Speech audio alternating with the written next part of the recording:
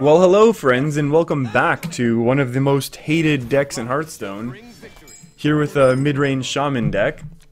And maybe hate's a strong word, I think it's fair to say it's meta-defining right now. One of the most popular decks, I think is fair to say about this one. Ooh, this is looking like a really bad opening hand by me here. But, and I think people are definitely working to kind of counter this deck in particular, basically. Um, I would kind of expect to see more hunters, I mean more warriors, which would then pull out more hunters, which then lets this deck in turn be better. So it's kind of that little circle of life right now going on in Hearthstone. And the ever the ever popular priest we're running into here. Ooh, this could actually be a bad matchup if it's a really, really good control type of priest. I think this shaman deck can match up if I don't get a good curve. If he's able to get some of his resources early, which he might be able to considering what I have in hand. Ooh, this is looking like a horrible start. Um, I'm not sure if I'm more worried about a control priest or if I am more worried about a a dragon priest. I guess a dragon priest is more scary if they curve out perfectly. Oh, and that's scary for my opponent now. Can't play too much. Ooh, no circle and we win, right? Well, unless it just gets resurrected next turn. Then we're still in trouble. So yeah, if we just start eating tons and tons of resurrects, uh, we'll be in trouble. But if not, then hey, we're in business. Uh, I guess we would have some sort of answers to some of those plays, but... Yeah, Priest of the Feast, that's kind of not excellent for me either. Uh, how do we want to do this? We could go Flame Tongue Portal. Maybe not the best. I mean, I'd trade off one of these then, right? It's, yeah, it's just awkward with the 6 health right now is what I have to be working with. And I, I don't think I want to leave this. Not that the healing's an issue right now. I just I don't really think I want to be leaving much on board for my opponent. Oh, it's so awkward to have to trade like this and use a spell. Let's attack and then use uh, Portal first in the event that we get a Charger. That's fine. And we could just get AoE down now, which would be kind of sad. But since we're not overlock overloaded, uh, locked out right now, I think we'd be okay. And I guess there is kind of, not that I would have considered it, but hexing something early so that uh, the frog can kind of mess up all the resurrects. But I think in this matchup, if my opponent's playing a little bit of a heavier deck, we want to keep that hex for, yeah. Yeah, see now this is kind of scary, but we'll be able to punch through it this time. But actually, do we want to hex this time? Now we want to hex, right? We don't want two of these to die. So the question remains, how do we want to do this? Uh, I think we want to start toteming up. So we're going to totem and hex, I think is reasonable, leaving me with 6 mana next turn. If I need to coin out a Thunderbluff Valiant, we can at that point. So I think we hex the 4-7. Um, again, it's so awkward with the damage and the health, and we're, we just wasted damage. I really don't like that right now. Um, or should we throw down the 3-4? Which kind of helps a little bit more than what I have on board right now. I wonder. I wonder too. Ooh, let's just do this while we think. Yeah, actually, you know what? I think we can overload ourselves. I think that's uh, four or five. Yeah, makes it. Uh, let's do this. Or do we want to save one of? Who do we want to save? I'll save spell power, right? Always saving spell power, and then super overkill the bishop. Um, yeah, you know what? I think I'd rather have a stronger board. And this, and the Totem Golem is gonna survive all of all AOE. And who knows, maybe, maybe it baits out a Shadow Word Death if my opponent's really, really worried and doesn't have that much to play at all. Ooh, a Shadow Word Pain. Double Pain? Okay. Time to top deck. Oh. Oh, my opponent's really looking to have a Fatigue deck here, eh? Okay, I guess. Um, do we want to weapon up now? What are the chances that this crazy control deck has an Ooze or a Harrison?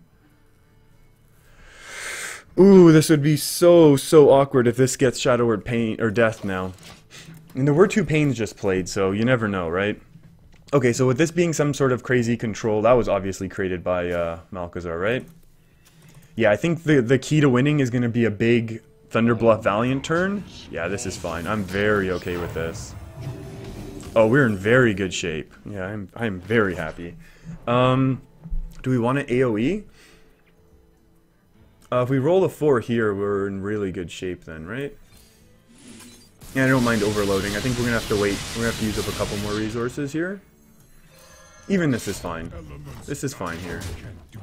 Um, I mean, the draws are cool, and I'll take the draws happily, but... Opponent's slowly running out of resources.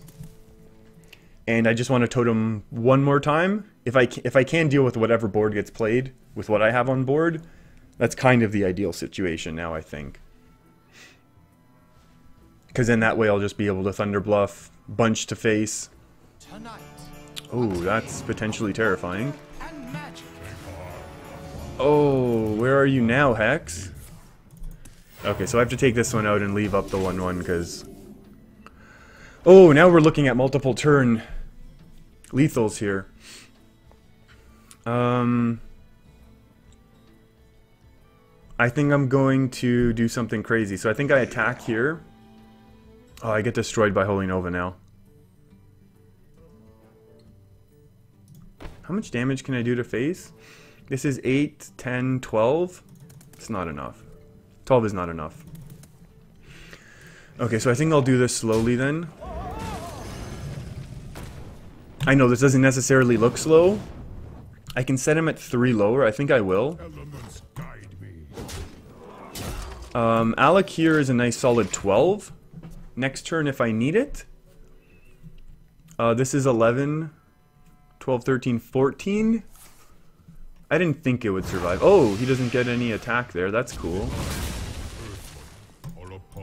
Ooh. Oh, this is how you lose games. Okay. um, do we actually have it here or no? 12? 12 plus 6 is 18, 19? Oh, we're a little bit off. That is, that is sad. Um, both Pains have been played, though, so I can play Al'Akir. There's no Shrinkmeister Cabal anymore to worry about. So I can just clear his board. Hmm, that is correct. Hmm. And I could even do it with the rock biter and then leave this up. Actually, I could do it with the rock biter and then get 6 into face and leave it up.